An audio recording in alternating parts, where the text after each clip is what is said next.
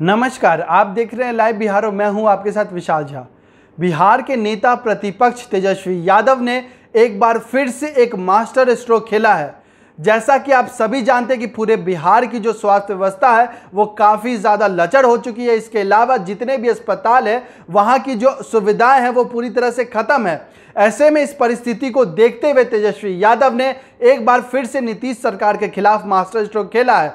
दरअसल उन्होंने एक पोलो स्थित अपने सरकारी आवास में कोविड केयर सेंटर का जो है निर्माण कर दिया है और उन्होंने कहा है कि अब यहाँ पे जितने भी कोरोना मरीज़ होंगे, उन सभी का इलाज किया जाएगा।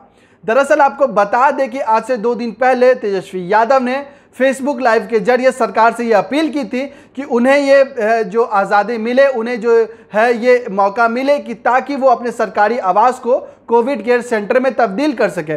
इसके साथ ही उन्होंने ये भी कहा था कि अगर हम वहाँ पे कोविड केयर सेंटर बनाते हैं तो वहाँ पे तमाम दवाइयों का, डॉक्टरों का सारे सुविधाओं का जो खर्च होगा वो पूरे के पूरी नेता प्रतिपक्ष तेजस्वी यादव उठाएँगे।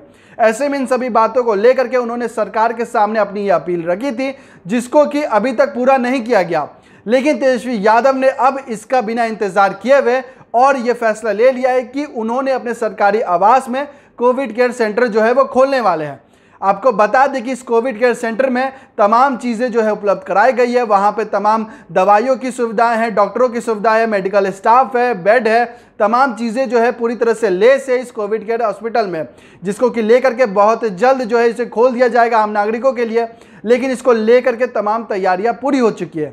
ऐसे में एक तरफ़ जहाँ पूरे बिहार में जो स्वास्थ्य व्यवस्था है वो इतनी ज़्यादा बुरी हो गई है कि हर दिन कई लोगों की मौत हो रही है तो वहीं तेजस्वी द्वारा उठाया ये कदम कहीं ना कहीं एक मसीहे के रूप में सामने आना हुआ है।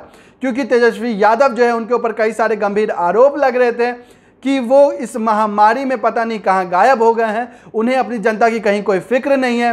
लगातार जो पक्ष दल था, वो लगातार तेजस्वी यादव पर लगातार हमलावर था। उनके द्वारा कह रहा था कि वो सिर्फ़ ट्विटर और फेसबुक के ज़रिए राजनीति कर रहे हैं। वो कहीं ना कहीं सड़क पे आके, जनता के बीच आके उनकी कोई भी मदद नहीं कर रहे, ना ही वो फ़ोन करके किसी भी तरह की सुविधाएँ जो है जनता को नहीं दे पा रहे।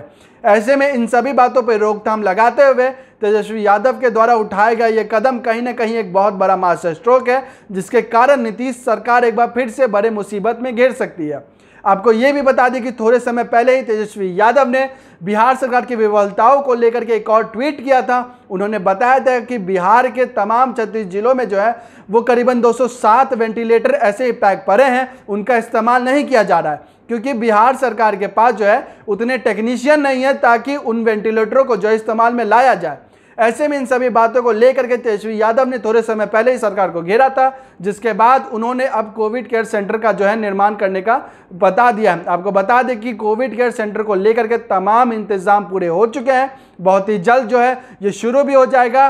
इसको लेकर के सरकार को अपील भी गई है। अब ये देखना दिलचस्प होगा कि क्या बिहार सरकार, क्या नीतीश सरकार तेजस्वी यादव को ये परमिशन देती है। और अगर देती है तो कहीं ना कहीं इससे एक बड़ी बात ये सामने निकल के आएगी कि नीतीश सरकार के खुद के बदौलत कोई भी चीज़ें ठीक नहीं हो पा रही है।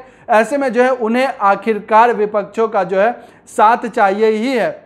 ऐसे में इन सभी बातों को लेकर के लगातार क्यास लगाए जा रहे हैं। अब ये देखना बहुत ज़्यादा दिलचस्प होगा कि क्या नीतीश कुमार इसको लेकर के क्या फैसला देते हैं। ऐसे तमाम खबरों के साथ जुड़े रहने के लिए लाइव बिहार के फेसबुक पेज को लाइक और फॉलो करें। इसके साथ ही हमारे यूट्यूब चैनल को सब्सक्राइब भी करें। धन्यवाद।